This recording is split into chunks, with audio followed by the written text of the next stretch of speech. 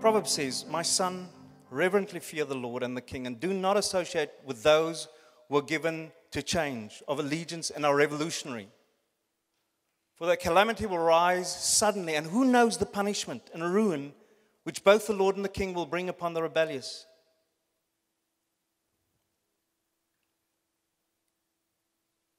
I'm going to tell you why I'm sharing so strongly about this because our situation isn't new. Christ found himself in exactly the same situation, and that's why we need to reference the commander of our army tonight. What did he do? His situation wasn't very much different. He was born into a nation that was being subjugated and oppressed in ways that we have not had experience of in South Africa. The Romans were not Democrats. The Romans were arrogant so and so's. The Jews were just vassals. Christ said, if somebody asks you to carry his load one mile, be a good Christian, carry it two miles. In other words, allow yourself to get abused twice. Because Romans had a legal right to impose whatever burden they wanted to on any Jew close to them. And if the Jew refused, he would get punished most severely. That was, that was just a small example of the kind of tyranny they were subject to. It wasn't an easy place. So Christ had to manage a group of people. They were associated, they were called zealots. They were associated with the Pharisees. And in the same way that the Roman Catholic Church has the Jesuits and the Americans have the CIA, they've got their agents, provocateurs, people go around and, and do some scary stuff, provoking wars and assassinating people and that. This was a band of assassins, and they worked for the Pharisees. And I've got a definition of, of them for you. A zealot is a person who is fanatical and uncompromising in pursuit of their religious, political, or other ideals. In Christ's times, there were militant Jewish patriots from the first century that held that violence was justifiable if it would free the nation from their foreign oppressors. And one of Christ's disciples was a former member. There were two Simons among Christ's disciples. One was Simon Peter, and the other one, a quiet guy, was Simon the Zealot. And then there was Judas Iscariot, according to Matthew 10, verse 4, also betrayed him. And I want to make this following point tonight. Any revolutionary ideology is at war with the lordship of Jesus Christ or with the fatherhood of God and therefore at odds with the commitment and loyalty of Christ's disciple. We've, and, and there are lots of isms. And the one thing that they all have in common is they have a problem with you as a Christian because of their allegiance to Christ. And I'm talking about experience, I've been through this. You run with the foxes. And the next thing, the foxes turn around and they turn on you. Believers, I want to appeal to you tonight that when, when we feel the need for change, that is fine. But I tell you what, God will not let you get away with and me get away. And we, we welcome to do that. But I want to tell you one thing.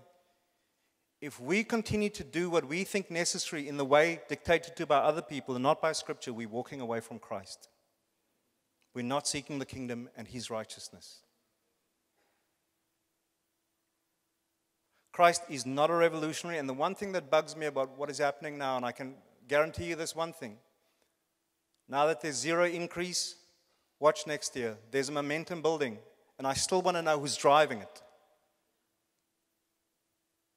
There's an attempt to make this country ungovernable, and, and you may feel heroic because you're going to do it. But let me tell you, when you're done, there's nothing, going to be nothing left because I tell you, and I'm speaking to students tonight. I was a student too. I was very skinny, starved a lot, had no pocket money, had no transport. You have no idea how many miles I had to walk and hitchhike every day just to get to class. It was far. My parents didn't support me, not with one rand, they couldn't. I had to make my own way, two jobs after university. But you know, it never entered our minds in those days to complain about it or to think ourselves deprived. So I want you to respect where I'm coming from.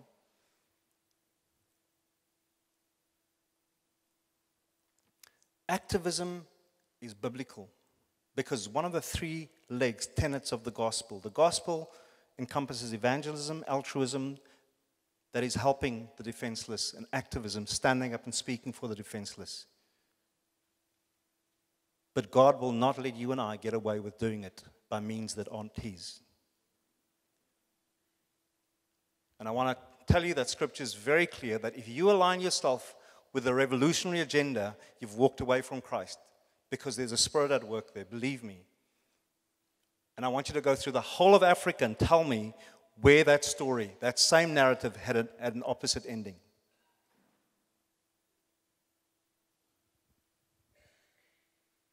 We have a redemptive purpose in this nation. God has moved in that way. But there are two things that really, that really bug me tonight about what's going on. And the biggest thing is the whole issue of the rage. James 1:20 says, "The anger of man does not accomplish the righteousness of God." And the thing that bugs me the most is that more than 20 years on into our democracy, we are now more racially divided than ever. And I'm very concerned about the inherent, the inherited racial antipathy and friction that exists in our nation. And there's not much one can do about it in the nation, but I, I want to tell you, you cannot be a part of the Church of Jesus Christ and not have a conversation about it.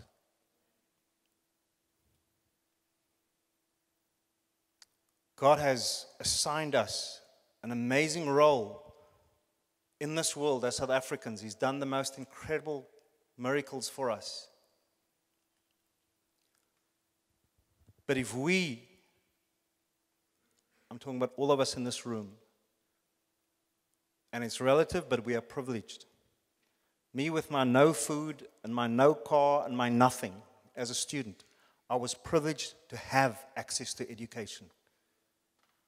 And I thank God for that. And I thank my folks for allowing me to do that, even though they couldn't make it happen for me. They were happy to release me and they blessed me and they supported me as best they could, even though they couldn't do it financially. My dad wasn't very supportive in those years, and my mom had to hold on three jobs just to get us through school. She worked herself to death. Many of us have that same story.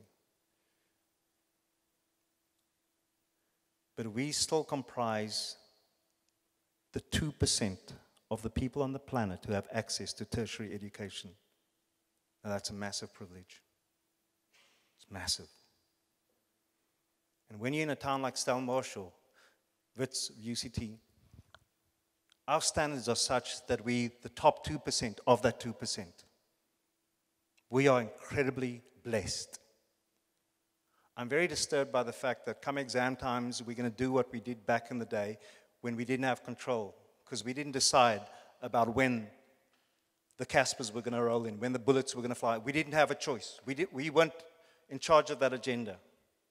We lost a lot of friends, a lot of bloodshed, a lot of killing. It was real.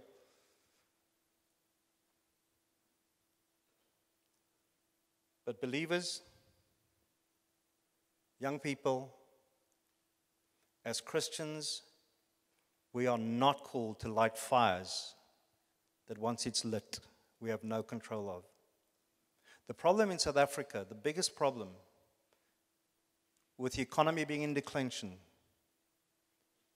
is that the vast majority of people between 16 and 35, it's not like they're unemployed, they are unemployable. We have an educational crisis, but it's not at tertiary level. And I say that with respect. Believers, Christ said, as soldiers, we suffer and we learn to deal with it. We get tough. But I don't, among Christians, I don't care if you're black or white, don't have a conversation with me about microaggressions. If you've not been to the cross, if you've not seen Christ bleed himself to death, then go there and have a look to who you've come to, to who you worship. We can't go through life as like porcelain dolls being sensitive to everything. And I'm speaking to all of us tonight. We are believers. There, there, there are some things going down in this country right now that is not of the Lord. I want to tell you that in the name of the Lord Jesus Christ, it's not of God. If you love this country, you'd better start praying that what is being unleashed gets put right back in its box. If this tinderbox that you're playing with matches around, if it jumps into the ranks of the unemployable, once their age is through, there'll be nothing for any of us left. There'll be no future. Sometimes we forget about how blessed we are, how privileged we are. And obviously, we're never going to be as blessed as privileged as some other people around us, but we never give in to envy.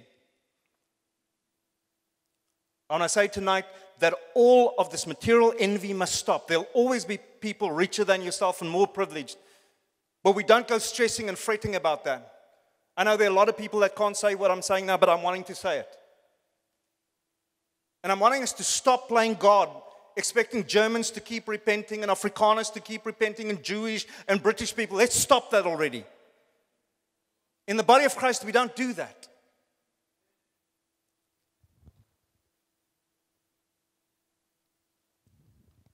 Really time for us to seek God to find out what His program is. I love what um, John, in John 18:33, 18:39 to 40 says. And that came after John chapter 12. Christ came into the city. He had just raised Lazarus from the dead. People were very excited. And they wanted to proclaim him king. He came in on donkey, and everybody was excited.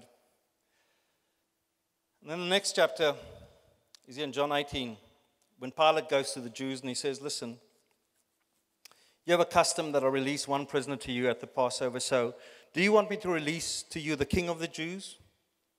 And they shouted back, Not this man, but Barabbas. Now, Barabbas was a revolutionary. Christ had zealots in his rank he had very ideological young men, Simon in particular and Judas. Their whole lives were devoted to getting rid of Roman oppression. And it was legitimate. There was nothing wrong with that agenda, except that it wasn't Christ's agenda. And I know that is very hard to accept. But I tell you, I've been through all the cycles. I've, my first fight at university was with Dr. Allan Boesak. He had just come back from Holland and he believed that Christ wanted us to take up machine guns and kill everybody. He came back with a whole new gospel, a revolutionary gospel that went beyond the social gospel of compassion. Now they were preaching that God was endorsing violence, Christ was endorsing violence. It's a travesty of the gospel. Christ never said so, he never did so, and he never will. And I say to you, young people, that what is happening at, at UWC, my alma mater, I was at that university. I read the Vice Chancellor's SOS the other day. He was fearing for his life, trying to dialogue with students, trying to accommodate them. It's a university that's trying. All he got as a response was violence.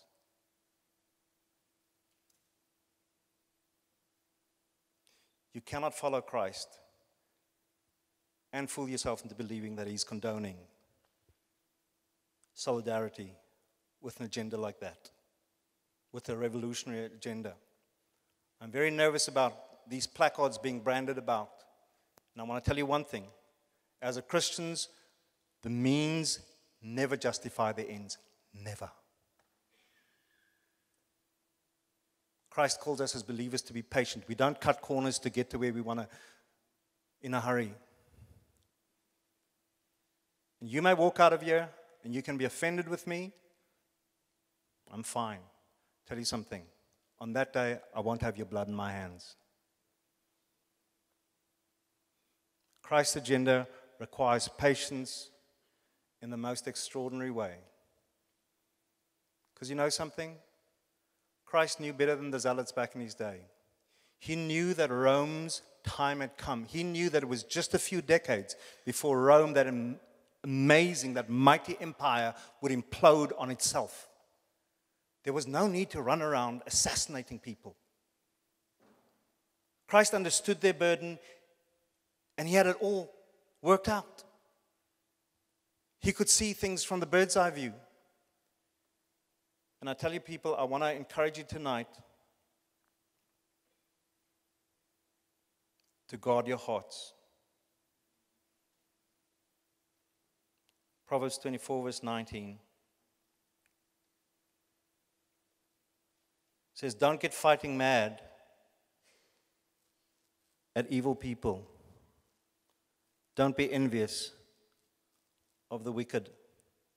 I want to challenge us tonight as to where this rage comes from. Where does this anger come from? I've been reading a lot of posts and I, I, I read a lot of envy right there. And as believers, we can't. There were a lot of Christians exactly in your position just before the Second World War in Germany. A lot of wicked things were being said about Jews, and it all stemmed from envy. The Jews have too much money. The Jews have too much privilege. The Jews have too much access. The Jews have too much leeway. If we open that Pandora's box, every demon comes flooding in, and then it's all systems go. It's not the way of God. We're going to stand in just a moment, but just let me read these things to you. What I do believe our response should be is to seek spiritual agreement and a spiritual mandate together. I really believe that we must engage, but we engage from a position of strength. As a Christian constituency, I was just watching the kids tonight walking down to every nation and to CRC. The most gorgeous kids. Pray for them every time I pass by. I want to encourage you, and I know we have many leaders here. I know you mean well. But it's time for the body of Jesus Christ to start talking to each other. And if you do stuff, please don't do stuff without at least talking to us as well. What do you think we're here for?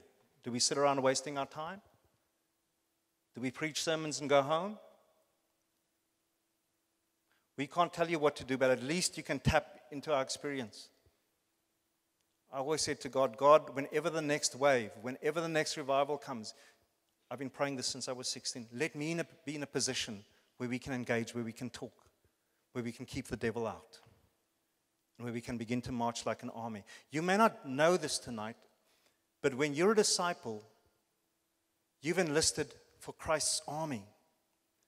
We only engage social challenges from a place of spiritual strength. And you know, spiritual strength, God doesn't need millions of people mobilized. He just needs any group, any size that are in spiritual agreement about God's agenda, about what He wants and how He wants it done. That is a battle worth fighting for. But this nonsense about we've got a black grievance and the whites don't understand, please get over that. I want to say it straight up. I want to. I came to this town. All I got was grief and discrimination, and it still goes on. And you know what? That's none of my business, that's God's business. People ask me, How, how'd, you, how'd you do this? I say, Well, I had to move a lot of mountains. They ask me, What mountain? I say, Well, they were all in my head. Great is He that is in you and He that is in the world. It's, it's amazing. As soon as we, we deal with social and political issues, we want to shut Christ in his case, we, we, like, we like puppeteers. We shut the puppet up, close the case, and he's not allowed to say anything while we're doing the real business, doing real life. You can go on doing that, but don't mess around with God. You can't run and scream violence and, and rage and anger and, and, and abuse today, and tomorrow raise your hand and worship God when the whole body of Christ has been torn apart because we're sitting there judging each other for whatever reason, that has to stop. And I'm talking to white and black today because there isn't a divide in God's book. But I want to tell you, people, the Holy Spirit is saying to you, do not get entangled with battles that aren't ours. At all times, first discern which kingdom will benefit most in the aftermath. And you cannot do that on your own. We're going to have to talk to each other. We're going to have to decide together. I must say, I'm very disappointed with how flagrantly we disrespect the goodness of God. We're on a campus where there are Christians that are committed, they're involved in the SRC, and whenever the first little hiccup comes, guess what? Everybody turns against the Axolile, known as Diamond. I don't want to see that happen again. I don't want to see in our ranks that God would raise up a man like Maimane to lead a, a party and then everybody turns around and says he's a coconut or whatever. He's being used. I've had that leveled against me all my life. I'm the only one on the whole continent of Africa that has got a cross cultural ministry. I'm the only one because the rest are all there judging me because I'm not black enough. Black people, I want to speak to you tonight. It's time for us to cast off our shame and at least to believe in each other. I can't, can't understand this nonsense. Every time somebody gets up like a crab out of the pot to move to the sea where we belong, we get ridiculed and disrespected. All we get is disloyalty. I don't want to see that happen among believers ever again.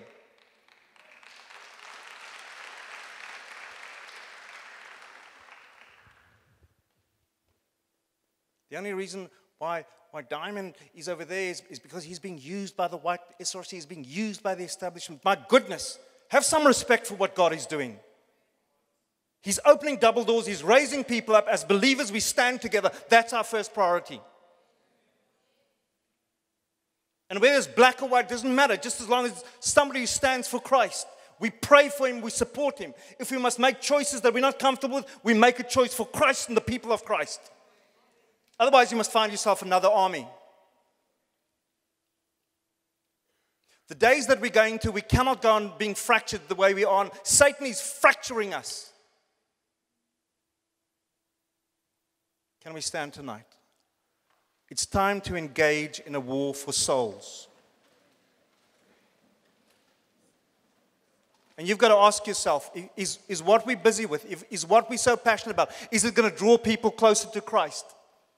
Or are we going to have no fees and have a whole bunch of people go to a Christless eternity and be all happy?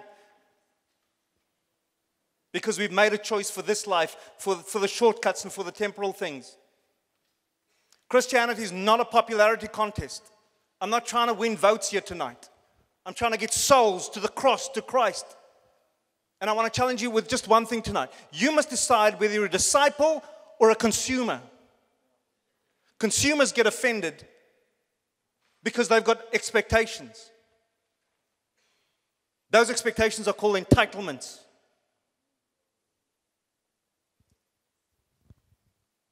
But if you're a disciple, you understand that you've been called to relinquish your rights. Whether you're white or black or yellow, it doesn't matter.